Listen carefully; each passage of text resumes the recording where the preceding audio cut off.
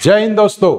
तो आपकी NEET 2023 examination हो चुकी है और फिजिक्स का जो पेपर है वो काफ़ी सिंपल पेपर आया था और उसी का सॉल्यूशन आपके सामने प्रस्तुत किया जा रहा है क्वेश्चन नंबर 21 से लगा के क्वेश्चन नंबर 30 तक। ये सेट एच सिक्स है और इसमें क्वेश्चन नंबर 21 अगर आप देखें तो क्वेश्चन नंबर 21 जो है वो ऑप्टिक्स से आया हुआ क्वेश्चन है और इसमें साफ़ दिख रहा है कि light travels a distance x in time t in air and 10x in time t2 in another denser medium. What is the critical angle for this medium? So here you have to find out the critical angle IC. तो मैं समझता हूँ आपको पता होगा कि जो critical angle है उसके लिए फॉर्मूला होता है sine i c equals to one upon a mu d यह है फॉर्मूला किसके लिए? क्रिटिकल एंगल कैलकुलेट करने के लिए। एक ही कंडीशन होती है भाई साहब टोटल इंटरनल रिफ्लेक्शन में एक ही फॉर्मूला है बस। और वो है फॉर्मूला ये। इसको मैं लिख सकता हूँ sine i c is equal to d mu a उल्टा कर दिया।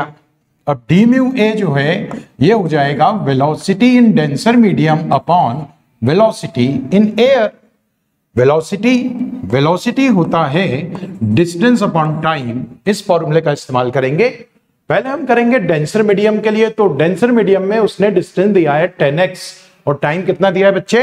T2 तो यहाँ पर जो है vd की अगर आप बात करें डेंसर मीडियम में वेलोसिटी तो डिस्टेंस हो जाएगा 10x और टाइम जो है, वो दिया हुआ है इसने t2 राइट इसी तरह से अगर आप एयर में निकाले वेलोसिटी तो एयर की डिस्टेंस और एयर में जो टाइम लिया है एयर का डिस्टेंस क्लियरली दिया हुआ है एक्स और टाइम दिया हुआ है टी वन तो यहाँ पर आप एक्स अपॉन टी वन करेंगे।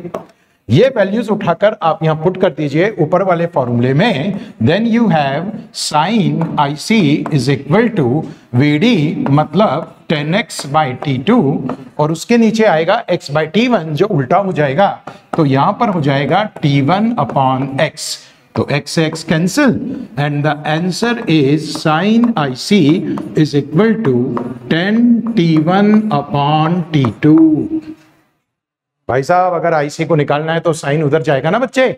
साइन उधर जाएगा तो आपको मिलेगा i c equals to sine inverse और यहाँ पर हो जाएगा बच्चे ten t one upon t two देखिए जरा ऐसा कोई ऑप्शन आ रहा है यहाँ पर। Ten t one upon t two तो इस सेट के अंदर यहाँ पर जो ऑप्शन नंबर टू है इस क्वेश्चन का this is the right option okay हाँ तो अब हम बात करते हैं नेक्स्ट क्वेश्चन की क्वेश्चन नंबर ट्वेंटी टू ये जो है वो एसर्शन रीजन वाला क्वेश्चन आपके सामने आया है, इसलिए मैं कई बार बोलता हूँ क्लास में भी एसर्शन रीजन के क्वेश्चन ज़रूर सॉल्व करिए। इस बार काफ़ी भर भर के ये क्वेश्चन जो है वो आए हुए हैं।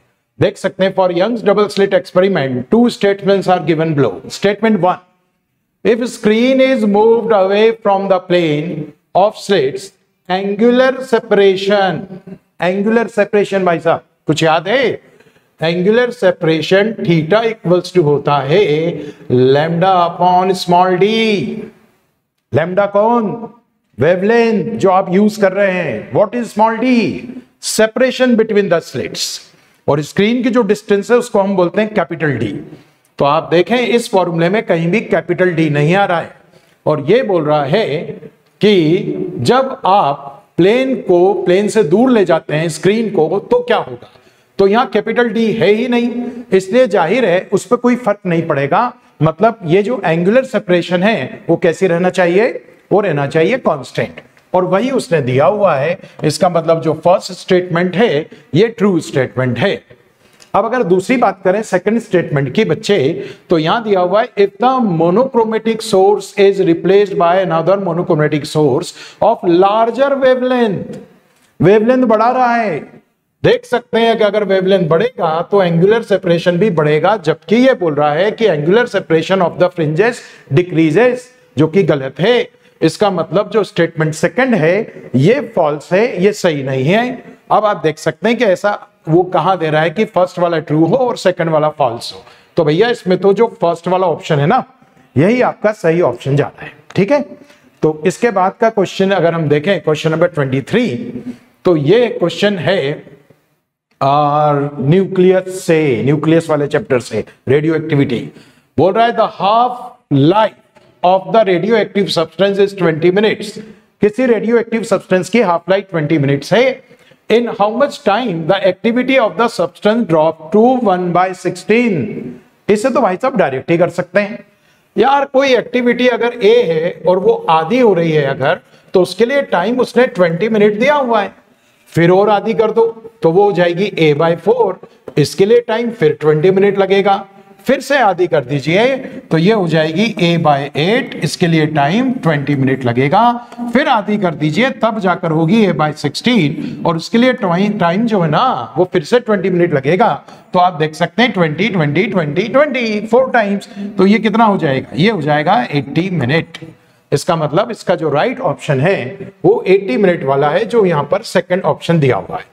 आप इसे फॉर्मूले से भी कर सकते हैं a c equals to a c not और यहाँ पर आता है one by two whole to the power n n जो है वो नंबर ऑफ़ हाफ़ लाइफ से अगर आप इसका इस्तेमाल करेंगे तो भी यहाँ पर एन आपको फोर मिलेगा, और फोर टाइम्स करेंगे जब ट्वेंटी का तो एट्टी वैसे भी मिलता है। तो दोनों तरीके से इस क्वेश्चन को किया जा सकता है। नेक्स्ट क्वेश्चन की बात करें तो 24 एरर से आया है भाई साहब। एरर एंड मेज़रमेंट से काफ़ी क्वेश्चन है इस बार। तो ये देखिए क्या बोल रहा है the error in the measurement which arise due to unpredictable भैया, जिसे प्रिडिक्ट नहीं कर सकते, वो रैंडम चीज़ होती है, वो रैंडम कहलाई जाती है।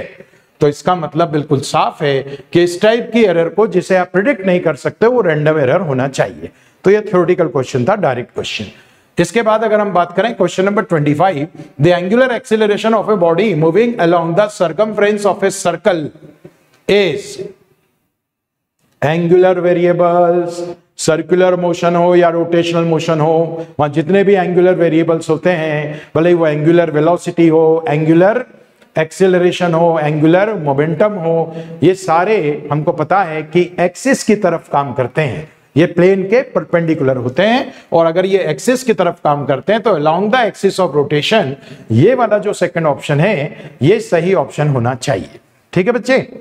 अब अगर हम बात करें नेक्स्ट क्वेश्चन की तो question number 26 an AC source is connected to a capacitor C due to the decrease in its operating frequency displacement current decreases capacitive reactance remains constant capacitive reactance decreases displacement current increases देखिए जरा, यहाँ वो बात कर रहा है displacement current की और कैपेसिटिव रिएक्टेंस की राइट आपको पता होना चाहिए बेटा कैपेसिटिव रिएक्टेंस एक्सी जो है, वो होता है वन अपॉन सी ओमेगा और आप देख सकते हैं वो वो जो ओमेगा है ना फ्रीक्वेंसी उसके इन्वर्सली प्रोपोर्शनल होता है।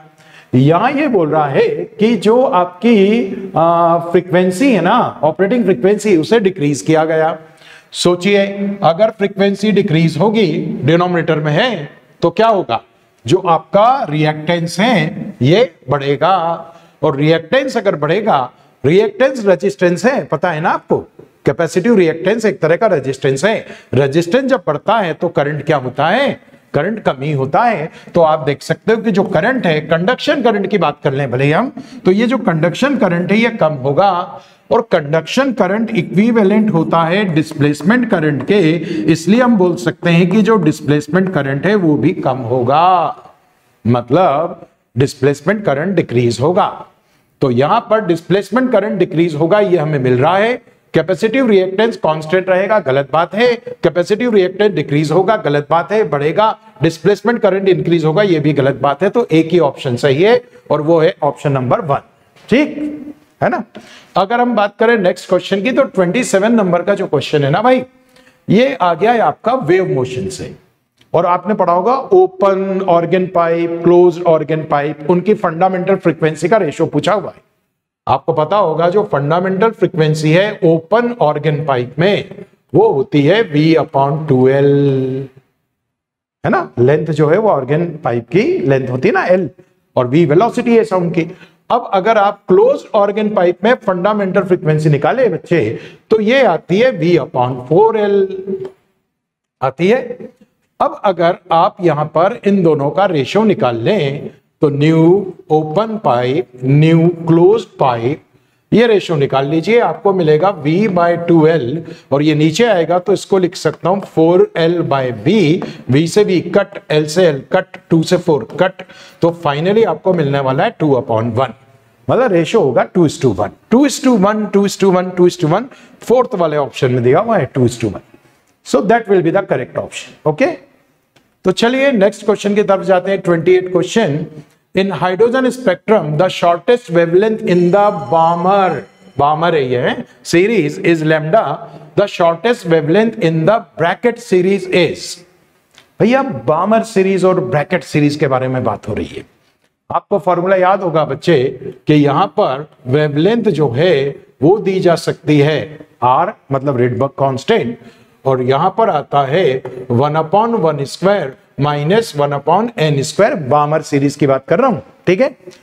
अब वो अगर मिनिमम वेवलेंथ की बात करेगा तो यहाँ पर आपको इनफाइनेट पुट करना पड़ेगा राइट तो बामर सीरीज़ में जो वेवलेंथ है, वो आएगी आर अपॉन वन यानी कि लेमडा आ जाएगी वन अपॉन आर राइट ये तो आ गई बामर सीरीज़ की वेवलेंथ दूसरी बात कर रहा है ब्रैकेट सीरीज़ की। तो ब्रैकेट सीरीज़ का फॉर्मूला अगर आपको याद हो तो वहाँ पर वेवलेंथ उसको लेमडा पी से डिनोट कर देता हूँ मैं, राइट? ये होती है रिडबर्ग कॉन्स्टेंट और यहाँ one upon one upon two square minus, minimum wavelength बोला ना तो माइनस यहाँ पर आएगा वन अपॉन इन्फिनिटी स्क्वायर। इसको सॉल्व कर लो बेटा। तो यहाँ पर ब्रैकेट सीरीज़ की वेवलेंथ जो है वो आपको मिलने वाली है R by four one by lambda और लेमडा बी की अगर वैल्यू निकालोगे तो वो मिलेगी फोर बाय आर ठीक, अब आप यहाँ पर दोनों को डिवाइड कर दीजिए।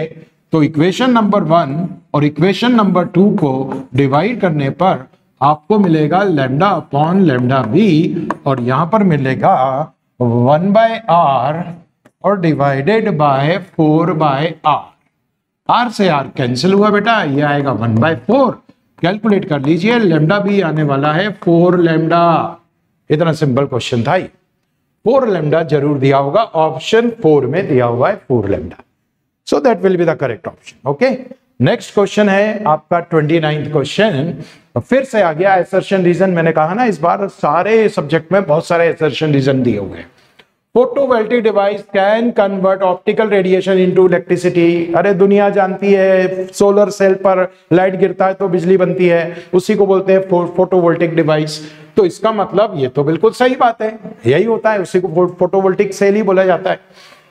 दूसरा बोल रहा है कि Zener diode is design to operate under reverse bias in breakdown region अगर आपने जीनर डायोड पढ़ा हुआ है ना बच्चे तो बहुत आसानी से आप इस बात को समझ सकते हैं। जीनर डायोड में होता क्या है? रिवर्स बायसिंग अगर आपको याद हो तो यहाँ पर ब्रेकडाउन वोल्टेज आता है। और ये जो ब्रेकडाउन वोल्टेज है ना बेटा, अगर आपको याद आ रहा है तो इसको कई लोग जीनर वोल्टेज भी कहते हैं। क्या कहलाता है ये? जीनर वोल्टेज इसका मतलब इसका मतलब सीनर वोल्टेज काम ही करता है ब्रेकडाउन वोल्टेज पे। डोपिंग लेवल ही ऐसा रखा जाता है कि वो बिल्कुल एकदम ब्रेकडाउन वोल्टेज पे काम कर सके। इस समय वोल्टेज कांस्टेंट होगा और करंट क्या होगा? करंट जो है वो चेंज हो सकता है। इसीलिए इसका इस्तेमाल हम वोल्टेज रेगुलेटिंग डिवाइस की तरह करते हैं। जो हमारे वहाँ वोल्टेज स्टेबलाइजर लगाते हैं ना हम घर में, वो जीना डायोड ही है बेसिकली तो इस तरह से आप यहाँ पर समझ सकते हैं कि बिल्कुल सही बात है Zener diode is design to operate under reverse biasing on breakdown voltage ये भी बिल्कुल सही जा रहा है। दोनों ही करेक्ट हैं। Statement is correct but statement second is incorrect दोनों जगह करेक्ट का लिखा हुआ है, देख लीजिए। Both statement first and second are correct तो फिर जो ऑप्शन नंबर थ्री है that will be the correct option okay तो अब अगर हम बात करें आखिरी क्वेश्चन क्या बात है भाई? ये आया है करंट इलेक्ट्रिसिटी से और इस बार पाँच क्वेश्चंस करंट इलेक्ट्रिसिटी से आए हुए हैं और बड़ा ही सिंपल सा क्वेश्चन यहाँ पर आपको दिख रहा है। और आप देख सकते हैं कि दो सेल लगे हुए हैं सीरीज़ में और एक एक्सटर्नल रेजिस्टेंस है। सेल जब सीरीज़ में होते तो E one plus E two total EMF आता है। लेकिन ध्यान से देखिए पोलरिटी रिवर्स है। पोलरिटी अगर रिवर्स है तो ई नेट कैसे आएगा बच्चे? ई नेट के लिए तुमको इन दोनों को माइनस करना पड़ेगा। तब यहाँ पर नेट ईएमएफ आपके पास फाइव वोल्ट होगा।